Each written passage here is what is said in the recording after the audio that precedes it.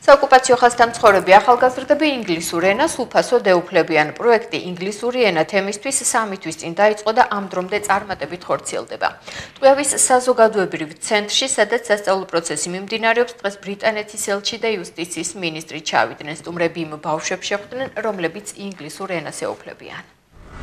ქარელის მუნიციპალიტეტის სოფელ ზემოხვედურეთში მცხოვრები თამუნა გაგელაშვილი ტყვიავის საზოგადოებრივ ცენტრში მოქმედ ინგლისური ენის კლუბში სწავლობს. უცხოენას უკვე მესამე თვეა რაც ეუფლება და ინგლისურად საუბარსაც ახერხებს. გაგელაშვილი ამბობს, რომ ინგლისური ენის შესწავლა მომავალში უფრო მეტ ადამიანთან კომუნიკაციის საშუალებას მისცემს.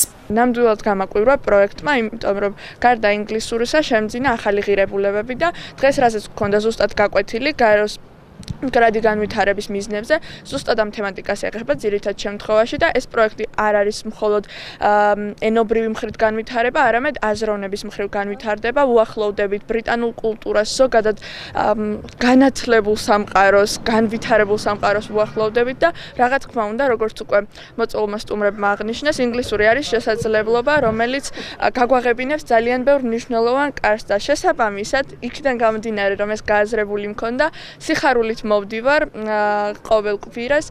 თამუნა გაგელაშვილის მსგავსად ტყვიავში ინგლისურ ენას სულ 15 მოზარდი სწავლობს. ინგლისური ენის კლუბი ამ ეტაპზე მხოლოდ მე-9 და მე-11 კლასის მოსწავლეებს აერთიანებს. ბავშვები იმედოვნებენ, რომ დაწესებულებაში გამომუშავებული უნარჩვევები მომავალში დასაქმებაში დაეხმარებათ. ძალიან დავინტერესდი ამ პროექტით და ვიფიქრე, რომ ალბათ ეს ძალიან კარგი საშუალება იქნებოდა იმისათვის, რომ ჩემი უნარების დემონსტრირება მომეხდინებინა ინგლისურ ენაში.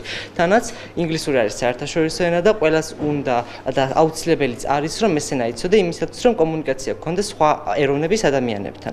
ამიტომაც გადავწყვიტე რომ მოსულიყავი ამ ცენტრში რათა ჩემი ინგლისურის ინგლისური ენის უნარები გამომჯობესებინა.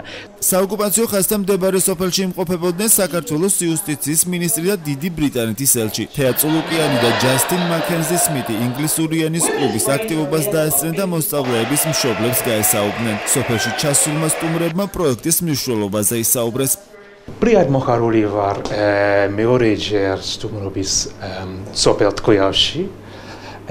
ამჟამად ნამდვილად ინგლისური ენა სოფლიოს ენა ინგლისური ენა ის გასახებია რომელიც მრავალ ქვარს კარს ახებს განათლების შესაძლებლობის დასაქმებისა და სოფლიო ხალხთა ურთიერთობების კარს. მნიშვნელოვანია რომ ტყვიავში სადაც სულ რამდენიმე ნაბიჯი გადის საოკუპაციო ხაზი, ჩვენი მომავალი თაობა იყოს კიდევ უფრო განათლებული, იყოს უფრო ძლიერი და ზურგამაგრებული შეხვდეს იმ დღეს, როდესაც ჩვენი ქვეყანა გაერთიანდება, რადგან არ არსებობს ჩვენს ხელში მტრის წინააღმდეგ იარაღი თუ არა თავისუფლება, დემოკრატია და განათლება და მინდა დიდი მადლობა უთხრა მშობლებს, ვინც თავიანთ შვილებს ტყვიავში საშუალება მისცა, რომ ინგლისური ენის კლუბში საზოგადოებრივ ცენტრში ჩართულიყო.